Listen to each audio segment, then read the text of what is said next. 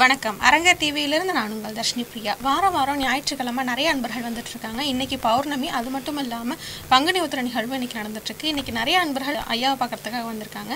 நம்ம அன்பர் வந்திருக்காங்க. இவங்க நிறைய அனுபவங்களை பற்றி நம்ம ஆசனை பற்றி நன்கு உணர்ந்து சொல்லியிருக்காங்க. இன்னைக்கு என்ன அனுபவம் சொல்கிறாங்க அப்படின்னு கேட்டு தெரிஞ்சுக்கலாம் வாங்க. வணக்கங்கம்மா. வணக்கம்மா. சொல்லுங்கம்மா. இன்னைக்கு என்ன பேச வந்து என் பேர் மஞ்சுளா தேவி. நான் இப்போ பதினோரு வருஷமாக குடிலுக்கு வரேன். ஒரு அன்பர் மூலியமாக வரேன். ஆனால் இன்றைக்கி எனக்கு தெரிஞ்சது நான் ஒரு கோர்ட்டில் இருக்க வேலையில் ஒரு கட்டணம் மிஸ் ஆயிடுச்சு நாலு வருஷம் ஆயிடுத்து அது வந்து ஐயா வந்து ஏதோ சதி செய்திருக்காங்கம்மா. ஒரு ரெண்டு மாதமாக அப்படியே தான் சொல்கிறாங்க இப்போ இந்த இந்த சமயத்தில் ஐயா பூஜையில் நிறைய பேர் இருக்கனால கேட்க முடியலைங்க. ஆனால் எனக்கு போன வாரத்துலேருந்து தோணுது நம்ம ஏதோ கர்ம வேணை செய்திருக்கோம். அது வந்து மன்னிப்பு கேட்டுகிட்டே இருந்தோம்னா அது கழியும். அப்படின்றனால இப்போ ஆசான் சொன்ன மாதிரி தான் நினச்சிட்டு மனசில் வந்து சொன்னது இப்போ நான் யார் யாருக்கு தவறு செய்திருந்தனோ அவங்களுக்கெல்லாம் ஆசான் மூலியமாக நான் அவங்களுக்கு மானசீகமாக நான் மன்னிப்பு கேட்டுக்கிறேன். ஏதோ தவறுகள் எங்கேயோ கர்மாஸ்க இது நடந்தால் தான் இது வந்து எனக்கு எனக்கு சார்ஜ் ப்ரேம் பண்ணிடுவேன் அப்படின்னு மிரட்டிகிட்டு இருக்காங்க.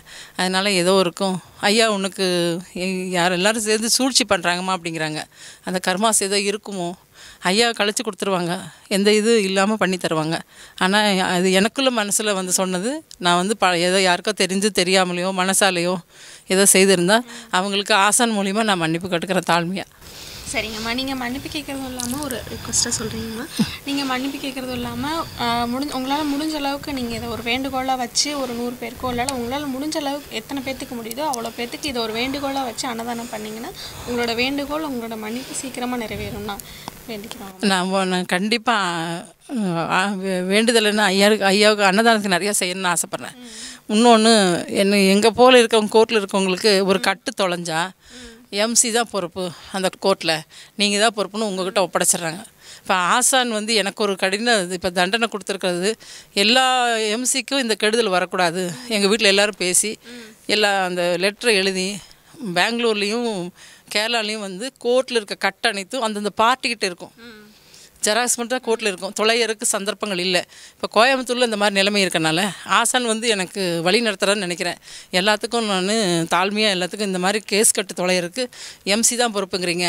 இந்த பெங்களூரில் இருக்க மாதிரியும் கேரளாவில் இருக்க மாதிரியும் எங்களுக்கு நடத்தி கொடுங்கன்னு டிஜேவுக்கும் ஹைகோர்ட்டுக்கும் சுப்ரீம் கோர்ட்டுக்கும் நான் அனுப்பலாம். பெரிய பெரிய இவங்களுக்கெல்லாம் இப்போ கோர்ட்டு சேம்பரு இந்த வக்கீல் சேம்பர் ரெக்வஸ்ட்டாக ஒரு பத்து பக்கத்துக்கு எழுதி தாழ்மையாக கேட்கலாம். இது எம் மூலியமா எல்லாத்துக்கும் ஏதோ ஐயா ஆசனம் உணர்த்துறாங்கன்னு உங்களுக்கு தோணுது. ஒரு வருஷமாக பேசிகிட்டு இருக்கோம் இது கண்டிப்பாக செய்வோம். ஆசனம் இதுக்கு எனக்கு வழி நடத்தி கொடுக்கணும். கண்டிப்பாங்கம்மா. உங்களோட வேண்டுகோள் கண்டிப்பாக நிறைவேறணும். நாங்களும் ஆசான் கிட்ட வேண்டிக்கிறோங்கம்மா. வேற எதுவும் அனுபவங்கள் ஆசனோட திருவடி தான். எப்பவுமே திருவடி சரணம்? ஐயா பார்த்தேன். சந்தோஷம். ஐயா எனக்கு ரொம்ப உகந்த நாள். இன்னைக்கு அதை பத்தி எதுனா கொஞ்சம் சொல்லுங்க. எனக்கு ஒன்றும் சொல்கிறக்கே இல்லை. ஐயா வந்து அவ்வளோ இதாக இருக்காங்க. இவ்வளோ இதுலேயும் ஐயா இத்தனை பேர்த்துக்கு ஆசீர்வாதம் கொடுக்குறாங்க. இன்னைக்கு பங்குனி உத்தரத்துக்கு ஐயா பார்க்க வந்து எனக்கு சந்தோஷம். ஒவ்வொரு பௌர்ணமி கிடைக்காது. இன்னைக்கு உத்தரமும் இருக்குது பௌர்ணமி இருக்குது ரொம்ப சந்தோஷம் எனக்கு. முருகனை பார்த்துட்டு ஆசி வாங்கிட்டு ரொம்ப சந்தோஷம். எண்ணில்லா சந்தோஷம். உங்களுக்கு கூட யாரும் கூட்டிட்டு வந்தீங்களா? எல்லாரும் வந்திருக்கோம். ஒரு இருபத்தஞ்சு பேர் வந்திருக்கோம். இல்ல பழைய அன்பர்கள்? பாதி பேர் புது அன்பர்கள் பாதி பேர் மணி கூட்டிகிட்டு வந்திருக்காரு. எல்லாத்துக்கும் ஆசையாயும் என்ன சொல்றாங்கம்மா ஐயாவை பார்த்துட்டு? இப்போ தான் இனிமே தான் போய் பார்க்கணுங்க இப்போ எல்லாரும் போயிருக்கோம். கொஞ்சம் கொஞ்சம் பேர் தான் கூட்டத்தில் போய் இனி வண்டியில் போய் உட்காந்தா என்ன சொல்லுவாங்க? இனி அவங்க போய் வீட்டில் போய் அவங்களுக்கு ஒரு நன்மை நடக்கும். ஐயா வந்து தொட்டுட்டு போயிருந்தாலே ஐயா பார்த்துட்டு போனாலே கர்ம வினைகள் விலகும். வேறு ஏதோ புதுசாக அவங்களுக்கு ஒரு அனுபவம் வேறு ஏதோ கிடைக்கும். அது அவங்க வந்து அடுத்த வாட்டி சொல்லும்போது தான் எங்களுக்கு ரொம்ப சந்தோஷமாக பேரின்பமாக இருக்கும். நிறைய வரணும். ஐயா வந்து இன்னும் வரணும் இன்னும் வரணும்னு எதிர்பார்க்குறேன். நான் வந்து இந்த இந்த உலகத்தில் ஐயா வரணும். ஐயா ஆட்சி வரணும். ஐயா வந்து செய்யணும்.